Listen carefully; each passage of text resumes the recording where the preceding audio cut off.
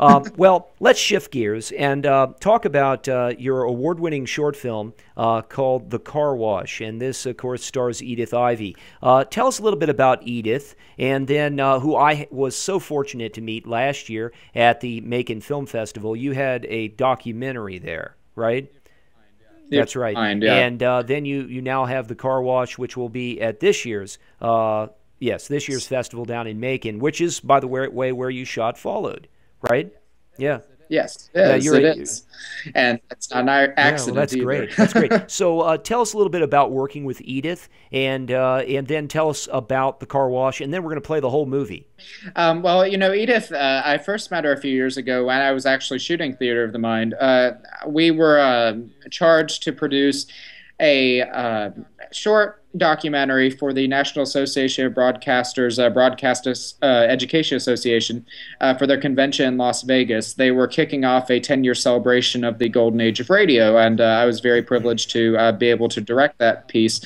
Um, so we had about eight weeks to find performers from the golden age of radio, find historians, edit it, and put it all together in eight weeks and get to Las Vegas. And that was quite an undertaking. Uh, now, now Edith, Edith had Yes, worked with all the greats, didn't she? Yeah. She did. She worked with everybody. She worked with Bob Hope. She worked, you know, uh, she did Howdy Doody. She uh, was actually on the pilot episode of Guiding Light when it was Oh on the gosh. radio. and in fact, some just a fun fact, you would not be able to watch all of the Guiding Light episodes produced in a lifetime. There are so many. incredible. And then, uh, and then, of course, um, uh, she was in Curious, Case, of Benjamin Button, Yes. uh, the uh, the the David uh, Fincher um, and uh, Brad Right. Pitt film. Really, really good movie. And she played uh, she played one of the ladies, the piano teacher. Staple. Yeah. It's Marple, yes, yeah. And and she, uh, you know, it, it was interesting because when we- when I met her, um, you know, when we were interviewing for Theater of the Mind, she uh, had mentioned that for her it was fascinating because she had started out in analog, you know, radio. That was where she started, and then she was in the first completely digital motion picture for Paramount and Warner Brothers. So she had run the entire gambit of, of entertainment from start to finish. So as you can imagine, having Edith around is almost like having encyclopedic knowledge of Yeah. everything in film and Yeah, entertainment. and she's so sharp and and so talented, as as everyone will see in just a few minutes. And you were lucky enough to be able to have her available for this very touching film, and we're going to show it. Uh, I want to thank you so much, James, for joining us. And now we're going to take a look, as James has been so uh, uh, has has been able to share with us his film. Um, and here is the car wash uh, on the Film Fix.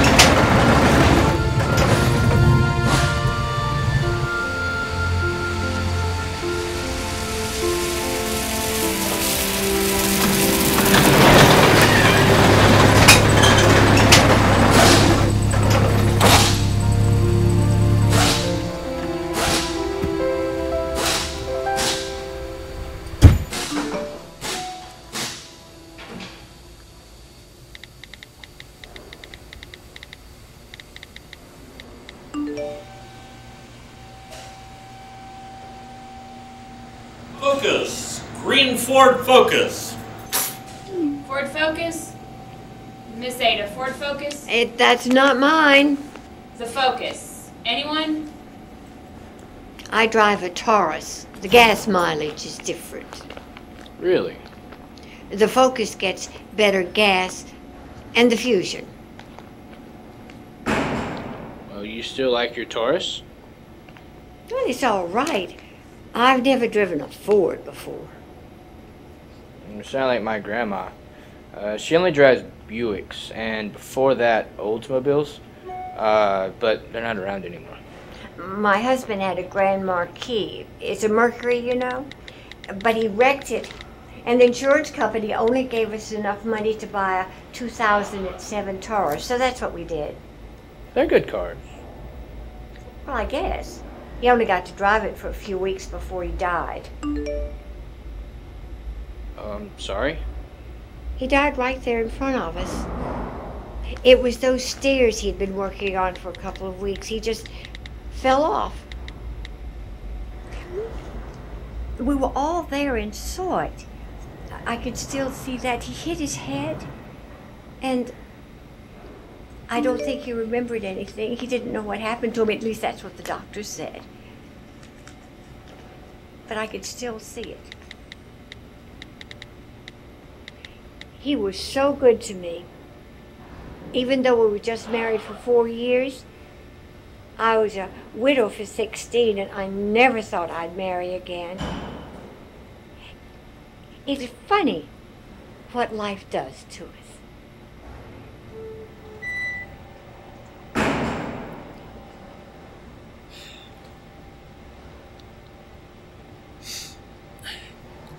I drive a Jeep Compass. It looks like they'll be uh, discontinuing it. Is it a bad car? People haven't been buying it. Uh, the thing is, it's a good car, but people don't expect an urban Jeep. They expect it to be rugged. I think if Ford made it, it would have been a big hit. Like the Ford Fiesta. But people didn't want that little car in the 70s. You know they're bringing it back. The Fiesta? Yeah, in 2010. Do you think you'll be any more successful this time? If they market it right, maybe. I don't know. People seem to want those little Asian cars. They'll buy us out before very long. But I probably won't be around to see that. Taurus. Gray Ford Taurus. That's me. Bring that around for her. Thank you. That's very helpful. Yes, ma'am. I think I'll go grocery shopping. When my husband died, my daughter took me in, and I didn't have to shop anymore because she did all the cooking. I'm getting old, you see. I don't move as well as I once could. Everybody seems to be faster than I am. When I was a little girl, my daddy used to say, You reckon you'll ever amount to anything? He's been dead 50 years, and I still miss him. Sometimes I cry so much that I have to stop and start again to get it all out. The thing I miss most about my daddy was his smile. He always left a smile with people. I used to take him to his Sunday school class, the young men's class. That was my one uh, break, my hour break from daddy. I was too young to understand then, but I understand now. My daughter feels the same way about me. And that is why I go as long as I can and while I can to the grocery store and to the car wash, whatever, so that I won't feel so guilty about living with her. Ford Taurus. That's me. Thank you for being so kind to an old woman. I hope you don't have to wait too much longer. If you find that uh, your Taurus won't do, there's always a Fiesta next year. I have reconciled myself that in life you can't have everything. But maybe so. Maybe so. You all ready to go?